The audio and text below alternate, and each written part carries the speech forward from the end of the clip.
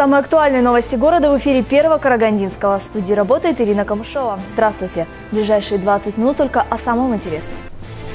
Трехлетней Карагандинке срочно нужна дорогостоящая операция. В Караганде прошла первая в Казахстане международная молодежная выставка инновационных проектов.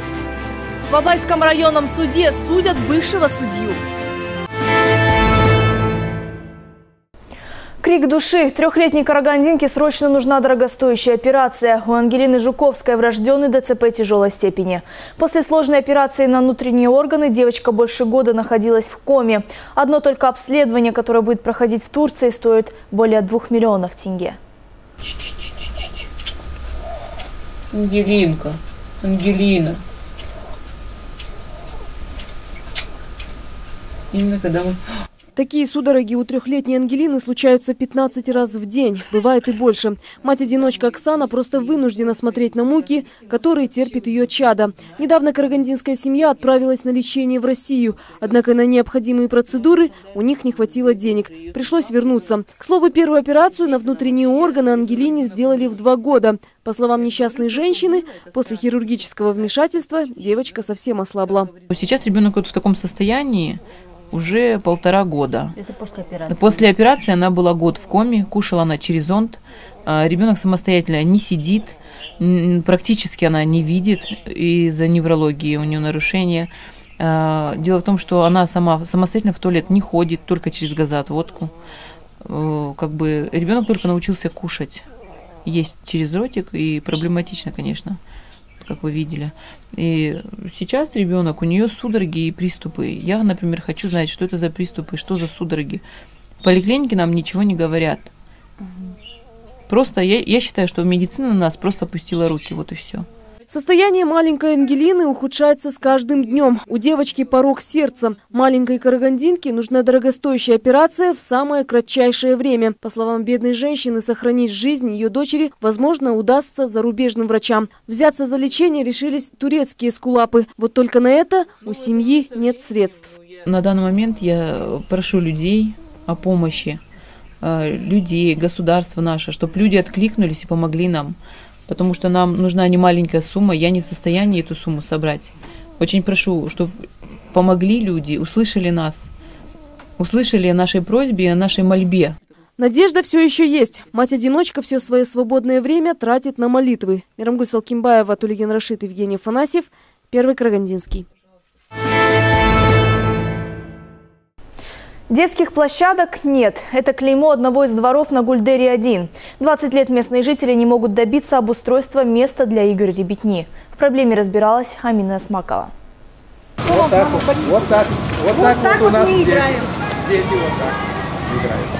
Жители 14-го дома на Гульдере-1 уже много лет просят установить детскую площадку. По словам местных жителей, место, где она, по идее, должна располагаться, сейчас напоминает пустырь. Единственное развлечение для детворы – это маленькая горка и некое подобие турника. Так уже на протяжении 20 лет. Уже и вроде бы как и дети наши выросли, внуки теперь, говорю, растут. А площадки как не было, так и не было. Поэтому мы не знаем, вы чисто нам вот помогите вообще, как куда, кому нам обратиться, как вообще добиться для того, чтобы у нас здесь хотя бы что-то было для наших детей, внуков и так далее. Негодующие жители двора уже неоднократно наведывались в районную администрацию, чтобы решить ставший уже не детским вопрос. Однако местные чиновники помочь карагандинцам не спешат.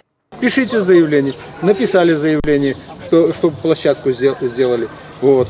И э, перед, после, после Нового года говорят, а надо было перед Новым годом еще раз писать. И каждый, каждый раз э, перед Новым годом надо писать им... Э, подписи собирали, да, сколько и, мы. И, подписи собирали, и все. И бесполезно. Там меняются кураторы.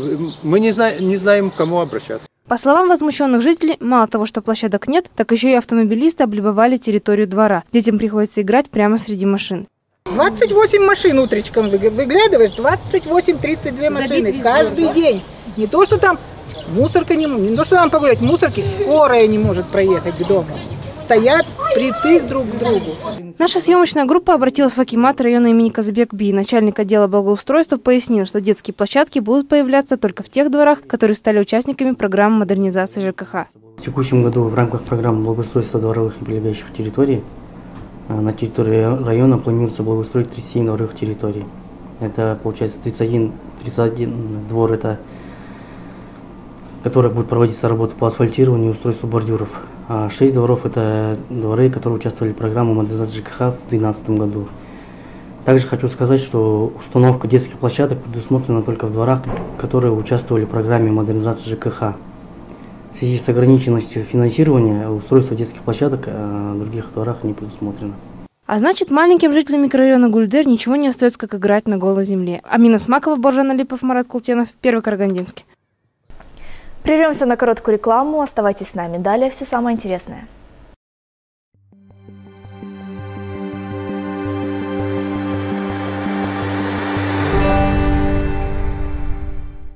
Молочная фабрика на Тиже представляет новый продукт ацидофилин. Бактерии акцидофилус выводят шлаки, токсины, очень устойчивы к действию антибиотиков, восстанавливают и укрепляют иммунитет. Японские медики называют ацидофилин страховкой от рака желудка. На Тиже с заботой о вашем здоровье.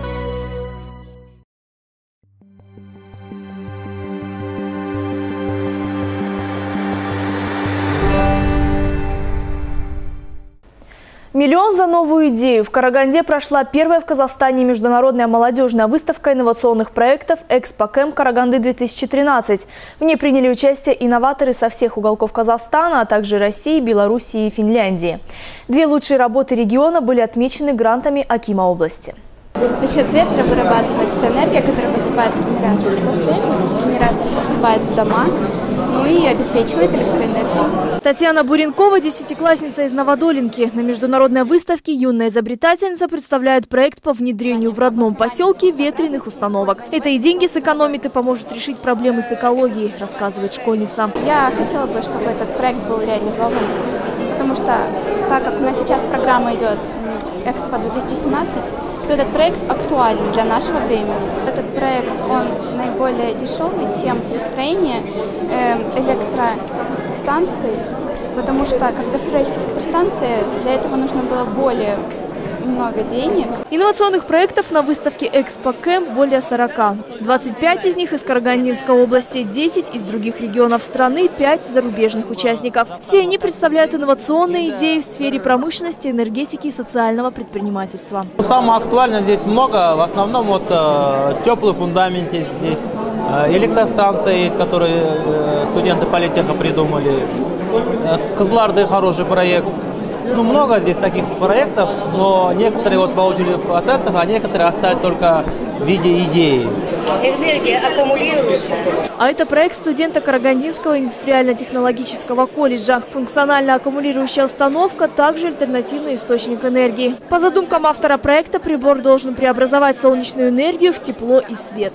Помимо казахстанских молодых разработчиков, по специальному приглашению на выставку прибыли гости из-за рубежа. Пия Кехар – представитель консалтинговой фирмы из Финляндии. Сегодня финские делегаты не только поделятся опытом, как реализовывать проекты, но и окажут содействие авторам наиболее интересных изобретений.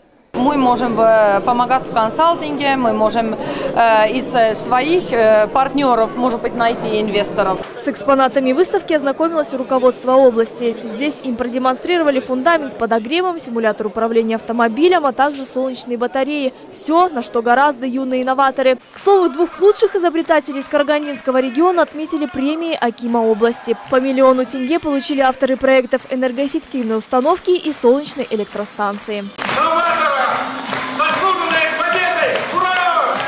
Кроме того, с обладателями грантов Акима области и другими молодыми учеными и бизнес-ассоциациями были подписаны договоры намерения по сотрудничеству в области реализации проектов. Ирина Камышова, Жасулана Мандыков, Марат Култенов, Первый Карагандинский. Между тем, молодежь активно поддержала проведение международной выставки «Экспо-Кэмп Караганды-2013». На площади независимости состоялся масштабный флешмоб. Около 300 человек станцевали зажигательный спортивный танец. Среди флешмоберов – студенты, школьники и инициативная молодежь.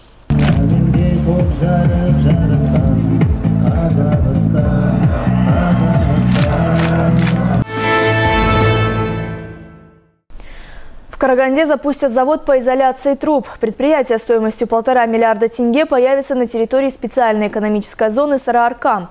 Проект рассмотрели накануне на заседании Координационного совета по форсированному индустриально-инновационному развитию.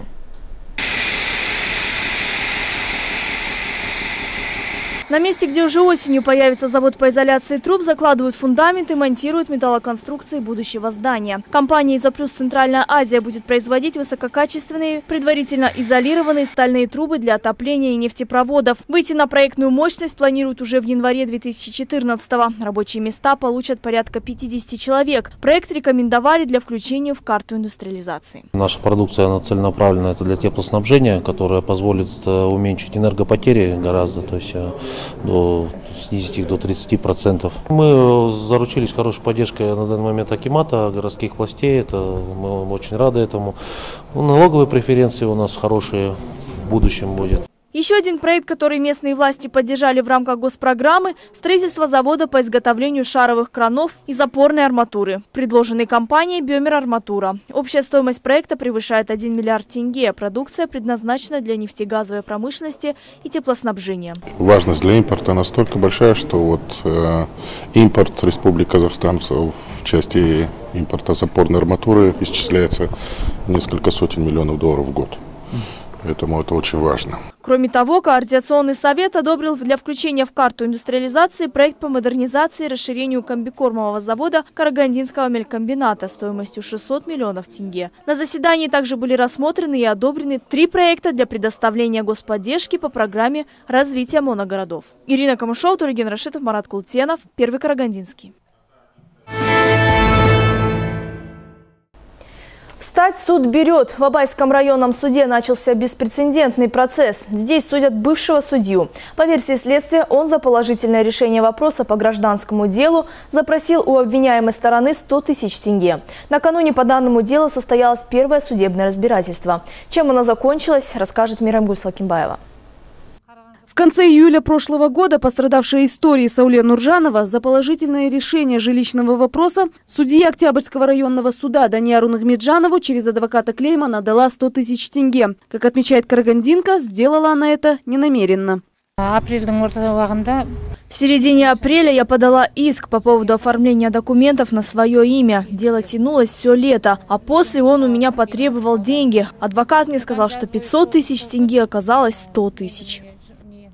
Уже 8 августа прошлого года в ходе проведения оперативно-розыскных мероприятий в служебном кабинете при получении взятки блюститель закона был задержан. Генеральной прокуратурой Республики Казахстан уголовное дело в отношении судьиных Меджанова было возбуждено 15 августа 2012 года. А накануне в здании суда Абайского района прошло первое судебное заседание. Однако съемочную группу телеканала «Первый Карагандинский» на процесс не впустили. Если вина экс-судьиных Меджанова в суде докажется, то последние 10 лет он может провести за решеткой. Мирамгуль Салкимбаева, Толик Ольгин Рашид, Евгений Афанасьев, Первый Карагандинский.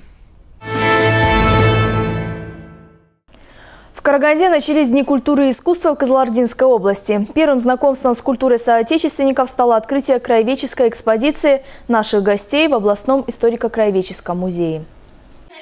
В делегации кызылординцев около 170 человек. Это не только археологи и краеведы. К нам в гости приехали художники и артисты. Как говорили на открытии, вся культура Кызылорды собралась в эти дни в Караганде. Начальник управления культуры Кызылординской области Ержан Абдрахманов вручил карагандинцам символ области в знак уважения и дружбы.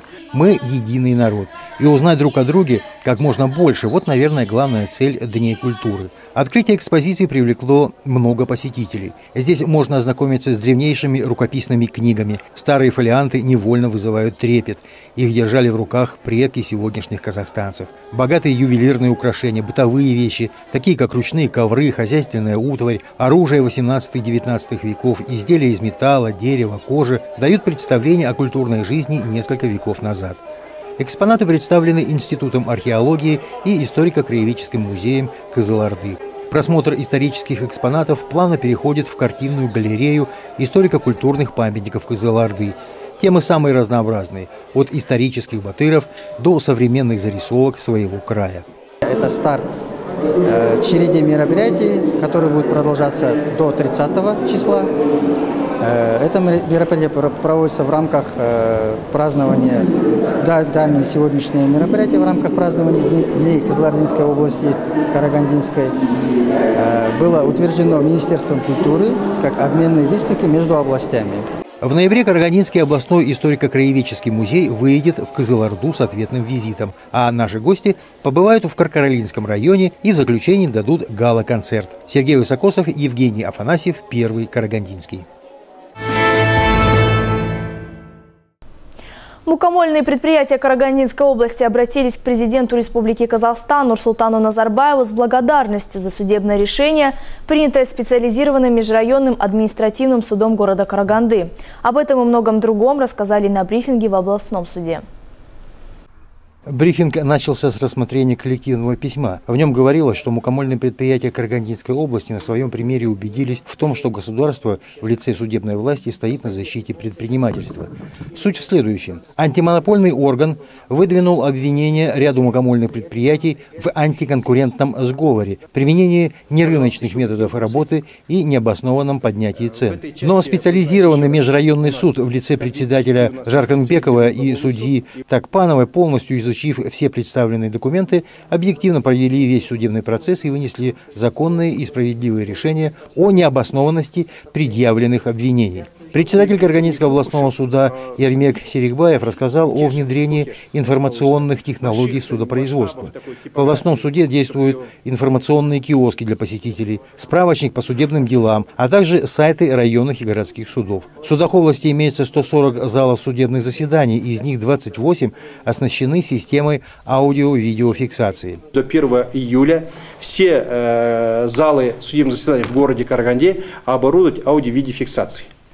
Суды Караганды рассматривают практически 70% всех дел. Их работа влияет на складывающуюся судебную практику, Э, формирует наш имидж.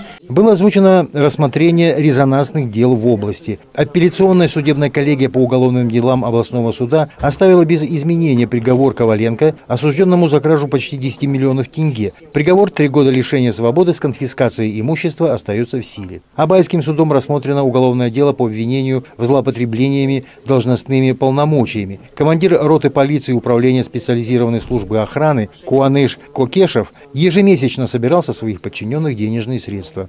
Приговором суда Кокишев признан виновным а, по статье 307 части 2 Уголовного кодекса. Ему назначено наказание в виде двух лет, шести месяцев лишения свободы с применением статьи 63 Уголовного кодекса назначена условная мера наказания с испытательным сроком 2 года.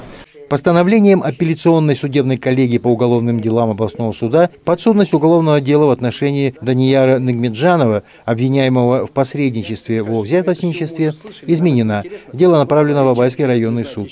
Журналисты сразу поинтересовались, почему рассмотрение дела не было направлено в другую область. В отношении другой области это решает Верховный суд Республики Казахстан, а в отношении, э, э, как сказать, Нигмеджанова и по поводу решения вопроса э, в обойском рассмотрении в суде, приняты были во внимание действительно объективные обстоятельства. Он проработал в данном суде более 10 лет. Может, с кем-то приязненные отношения, может, с кем-то неприязненные отношения сложились. Потом это может вызвать резонанс в обществе. И коллегия определила, пусть рассмотрит более независимый э, суд, который не связан с ним какими-то личностными отношениями. Сергей Высокосов, Евгений Афанасьев, Первый Карагандинский. Помощь в Афганистан. Из Карагандинского филиала Государственного материального резерва отправлен гуманитарный груз в Афганистан. Министерство сельского хозяйства этой мусульманской республики получит гречки на 19 миллионов и растительного масла на 60 миллионов тенге. 27 мая 2013 года, согласно поручению президента Республики Казахстан, в соответствии с постановлением правительства Республики Казахстан, Министерством по чрезвычайным ситуациям из республиканского государственного предприятия «Резерв» филиала «Высота» в Исламскую Республику Афганистан направлена гуманитарная помощь. Данная гуманитарная помощь отправляется в связи со сложным экономическим положением Афганистана. Из Каргандинского филиала Государственного материального резерва Афганистану отправлено 60 тонн гречневой крупы, а с Алматинского филиала 160 60 тысяч литров растительного масла.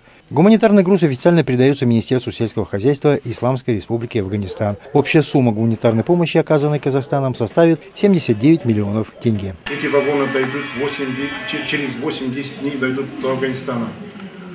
Орден Хайратона официально передается афганской стороне. Получателем является Министерство сельского хозяйства Исламской Республики Афганистан. О новостях спорта вам расскажет Берег Апаров. Спонсор показа Galaxy Group, производитель продукции торговых марок Алюгал, Галвин, Херкюль.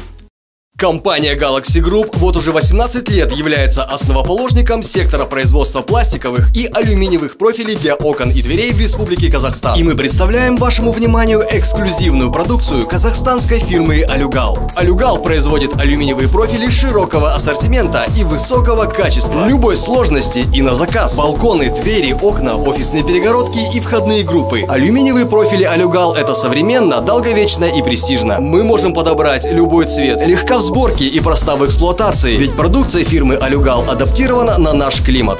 Алюминиевые системы – это Алюгал. В Алматинском национальном университете имени Аль-Фараби прошла седьмая летняя универсиада по женскому боксу. В соревнованиях принимали участие команды из Шимкента, Тараза, Караганды и многих других регионов страны. Карагандинская спортсменка, студентка Каргу Рима Волосенко выиграла все свои бои и заняла первое место. Я нахожусь в переменном составе сборной Казахстана. Надеюсь э, стать первой в 2014 году и уже основательно быть первой в этом весе. Также своими впечатлениями поделился главный тренер карагандинской команды Эдуард Матросов. Дай бог, чтобы его включили в сборную команду и поехал на всемирные студенческие игры в Казани. Здесь ее включат, я думаю, она выиграет. В Карагандинском спорткомплексе «Жастар» стартовал городской турнир по греко-римской борьбе. В соревнованиях участвуют более 100 спортсменов со всего города. Сегодня проводим э, турнир э, по греко-римской борьбе среди юношей, посвященный ко Дню защиты детей. Борется возраст 98-2000 года. Ну, дети наши, это в будущем наши, наши перспективы, думаем, э, с них вырастут хорошие борцы.